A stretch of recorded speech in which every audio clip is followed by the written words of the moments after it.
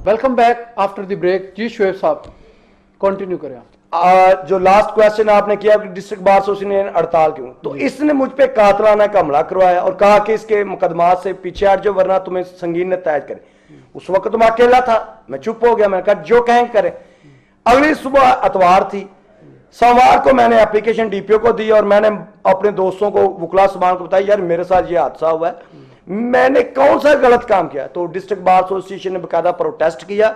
उसकी तमाम चैनल्स के ऊपर कवरेज भी आई और उन्होंने एक स्ट्रॉन्ग मैसेज दिया इसको कि भाई, अगर डिस्ट्रिक्ट बार एसोसिएशन वो बार है जिसने 2007 के अंदर जब अदलिया की आज़ादी की तारीख तो सबसे पहले स्ट्राइक की थी। आज अगर करप्शन के खिलाफ हमारा एक बंदा खड़ा हुआ है। तो आज भी हम स्ट्राइक पे जा रहे हैं और तुम्हें एक मैसेज दे रहे हैं कि ये डिस्ट्रिक्ट बार एसोसिएशन का हर फ़र्ज़ जो है शुएब असलम एडवोकेट के साथ खड़ा है और करप्शन के मामले के ऊपर हमने तुमसे कोई कमिटमेंट नहीं करनी। अच्छा इसका मतलब आपकी जो बार है आपकी पेरेंट बार है डिस्ट्रिक्ट बार जो है आपकी हाफजाबाद वो मुकम्मल तौर पे आपकी सपोर्ट में है। जी बिल्कुल उन्होंने किया खड़े उन्होंने आपसे हर किस्म का तावन किया। जी बिल्कुल उन्होंने साथ किया है। इसी डिस्ट्रिक्ट बार को जब इमरान खान साहब ने 2005 में एड्रेस किया था तो उस वक्त भी हमारी बार ने कहा था कि हमारा मेंबर जितने भी पीटीआई के साथ है हम समझते हैं कि सारी बार पीटीआई के साथ है। तो हमारे हम, हम मैं अपनी बार का भी शुक्रिया अदा करना चाहता हूँ आज इस टीवी चैनल के थ्रू कि जिस तरह उन्होंने मुझे प्रोटेक्ट किया वरना ये आदमी तो मुझे ये शायद मरवा देता। क्योंकि इसने पुलिस के ज़रिए मुझे रास्ता करने की कोशिश की। जब पुलिस ने रास्ता करने की तो मैं 2000 से ज़्यादा वर्कर लेकर पुलिस स्टेशन कसोकी चला गया। वहाँ पे बहुत बड़ा प्रोटेस्ट भी हुआ। मीडिया के उस पर खबरें चली। हम लोग इसको हम स्पेयर इंशाल्लाह नहीं करेंगे। जो हमारा लीगल फोरम है, हम वो करेंगे। हमने इंशाल्लाह इस करप्ट आदमी को जब तक इसको ओएसडी नहीं बनाया जाता, हमने इसके खिलाफ इंशाल्लाह स्टैंड लेना है। और ये हमने तय कर लिया है कि आफजाबाद के अंदर जब तक इमरान खान की मुल्क के अंदर हुकूमत है हमने किसी करप्ट आदमी अभी आप चाहते हैं क्या। डीसी साहब के खिलाफ जो है कार्रवाई होनी चाहिए इन्हें ट्रांसफ़र होना चाहिए या इन्हें ओएसडी बनना चाहिए इन्हें नौकरी से जो है वैसे ही निकालना चाहिए आप क्या चाहते हैं? आपका मौकफ क्या है? देखे जो फिल वक्त जो मेरा मुतालबा है जो मैंने रिक्वेस्ट इमरान खान साहब के सामने मैंने थ्रू इस मीडिया हाउस के सामने करनी है वो मेरा यह है कि एक आदमी के खिलाफ मुकदमा दर्ज हो चुका है। जब उसके खिलाफ मुकदमा दर्ज हो चुका है और वो बताओ डीसी आफजाबाद के अंदर बैठा है, वो किस तरह अपने मुकदमे से असरअंदाज होने से बाज रहेगा?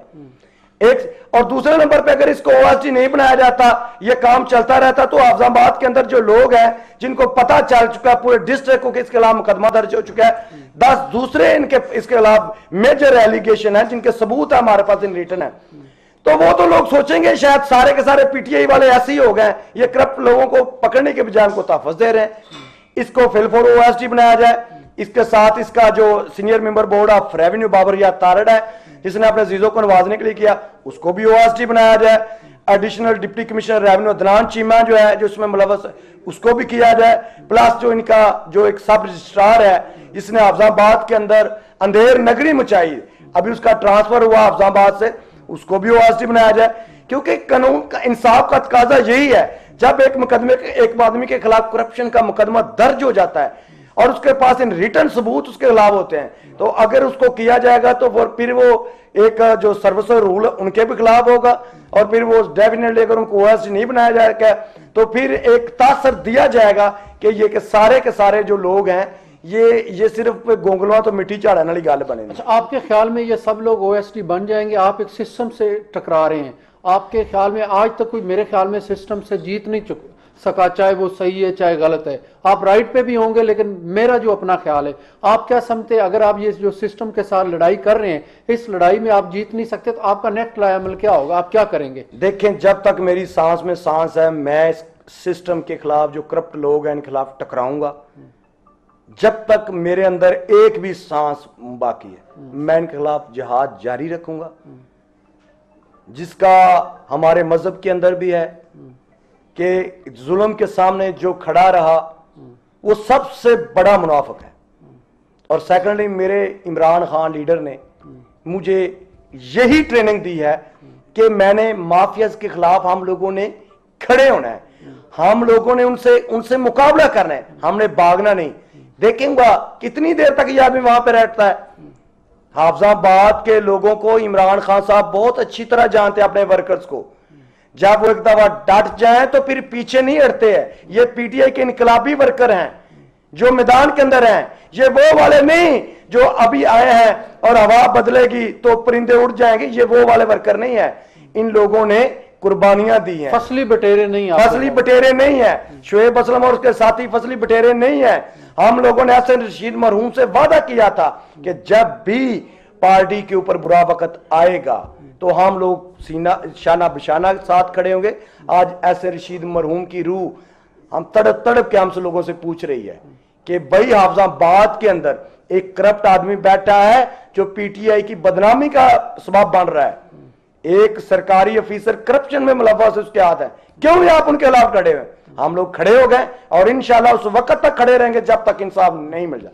हफ़्ते को हम लोग सड़कों पे आ रहे हैं। जिस तरह पहले पूरा वीक मैंने किया है, हफ़्ते वाले दिन से हम लोग डे बाय डे हम लोग करेंगे।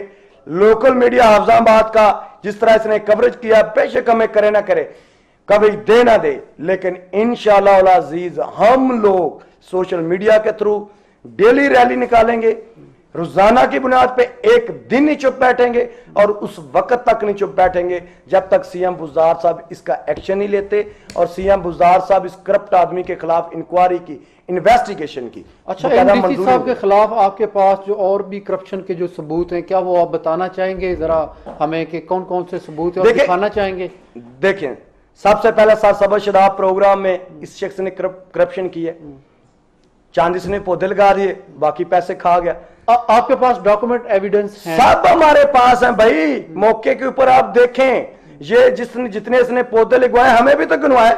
सारा दिन हम भी तो हाफजाबाद के सड़कों पे रहते हैं गलियों में रहते हम तो हम तो जब से हमें लोगों ने शिकायत की हाफजाबाद के शहरियों ने की हाफजाबाद की गली मोहल्लों की देहातों के लोगों ने हम तो उसी वक्त से इसके पीछे चल पड़े। लेकिन हम चाहते थे कि इसके पास जब तक इसके खिलाफ रिटर्न सबूत नहीं आ जाते, हम चुप रहेंगे। वरना जब खान साहब पिछले महीने हाफजाबाद क्या थे, हम तभी प्रोटेस्ट कर सकते थे एक दिन पहले। लेकिन हम लोग इस इंतज़ार में थे। हम लोगों ने पहले पूरे मौकफ लिए, कोर्स की हम लोगों ने तस्दीक कराई कि इस इसके खिलाफ सबूत है पिटिशनें दायर की।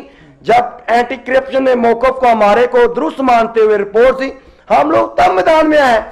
क्योंकि मैज एलिगेशन लगाना और चीज़ है डॉक्यूमेंट्री चीज़ें और चीज़। है क्योंकि no person can go beyond pleading and no person can go beyond his admission अब जिस, जो इन लोगों ने एडमिशन किए हैं कोर्स के अंदर, और जो जितने मामला ये उससे भाग नहीं सकते। अब हम लोग इस मैदान के अंदर हैं।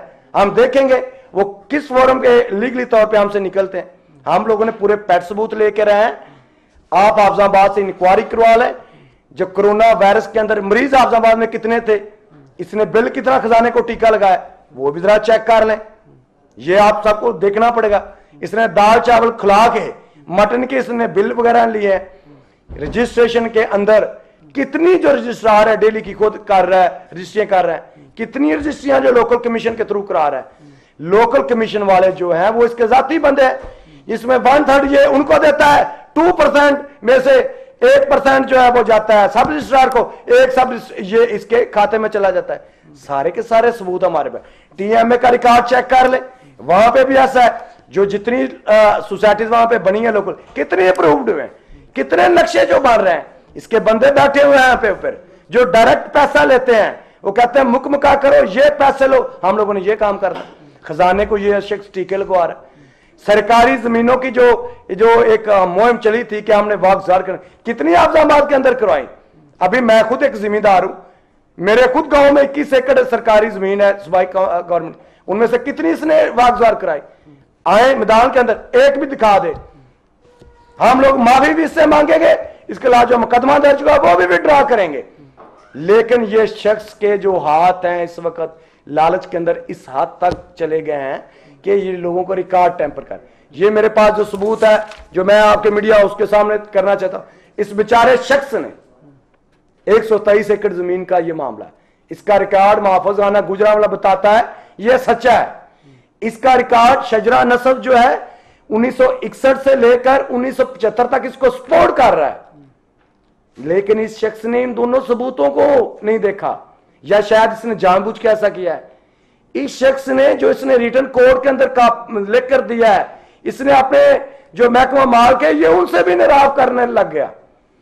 फिर इसने जो मुसदका कापियाँ दी हैं, कोर्ट के अंदर दी है, ये शख्स ने उससे भी किनारा कशी करने को लेकिन खुदा को मंजूर था, ये इस टैंपरिंग रिकॉर्ड से इसकी पकड़ आनी थी। अब रिकॉर्ड टैंपर में मीडिया के सामने ये बताना चाह रहा हूँ कि इस शख्स के खिलाफ ये मुकदमे का दर्ज हो चुका है। महकमा एंटी करप्शन ने इसके खिलाफ क्रॉस मुकदमा दर्ज करवा लिया है और बकायदा अपनी रिपोर्ट जो है, इसके अंदर कोर्ट के अंदर सबमिट करवाई है। डिस्ट्रिक्ट एंड सेशन जज अफजाबाद ने अपने फैसले में लिखा है कि इस शख्स के खिलाफ टैंपरिंग की वजह से क्रॉस मुकदमा दर्ज हो चुका है। तो जब इसके खिलाफ, अब इंशाल्लाह ये जो है, इसके खिलाफ पूरे सबूत हमारे पास आ चुके हैं। बाकी जो सबूत है, जब तक खान साहब इस पर एक्शन नहीं लेते, वो हम लोग नहीं करेंगे। क्योंकि ये रिकॉर्ड टेम्परिंग का बड़ा माहर है। मैंने आप मीडिया के थ्रू आपके चैनल उसके थ्रू पाँच छह सबूत बता दिए हैं। कल मैंने एक काबजाबाद के साहबी को दिया, मैं अपने दोस्त को दिया, अब उसने किसी आदमी के साथ बात की। तो क्योंकि आजकल इसका नेटवर्क माफिया बहुत वहाँ पे सरगर्म है। इसका एक बंदा डेली प्रेस क्लब में रहता है। कि किसी भी तरीके से आफजाबाद का जो मीडिया है जो डिस्ट्रिक्ट प्रेस क्लब है वो ना है। ये उन पर असरअंदाज हो रहा है। चले चले शुएब साहब आपका बहुत शुक्रिया। मेरे पास अभी प्रोग्राम का वक्त ख़त्म हो गया। जी नाजरीन अब तक के लिए इतना है। मुझे इजाज़त दीजिए। अल्लाह हाफिज़। Thank you